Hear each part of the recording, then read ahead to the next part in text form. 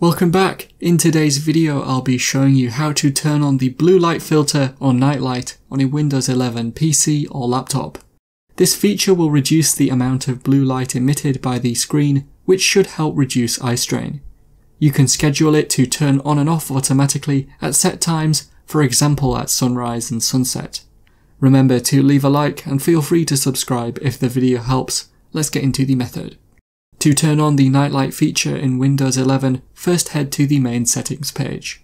You can get here by searching for it, and in the settings, click on System from the list on the left, and then choose Display. In here, find where it says Nightlight. It should be at the top.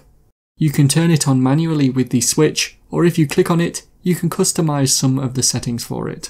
At the top, you can turn it on manually again, and below this, you can change the strength of it. You can preview the strength by moving the slider even when the feature is turned off. If you want it to turn on and off automatically with the schedule, turn this on and then you can customize the times that it will use. It should default to sunrise and sunset, but you can make the times whatever you want by checking the box next to the custom option. Once you're happy with the chosen times, you can close the settings. And so that is how to turn on the blue light filter or night light on a Windows 11 PC or laptop.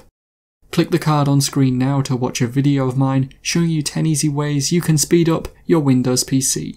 Help support the channel by visiting the store, the link is in the description and at the end of the video. If you have any questions, then let me know in the comments below, and if you did find today's video helpful, remember to leave a like and feel free to subscribe for more tips in the future. Be sure to stick around to see some of my other videos that you might be interested in. Thanks so much for watching and I will see you in another video.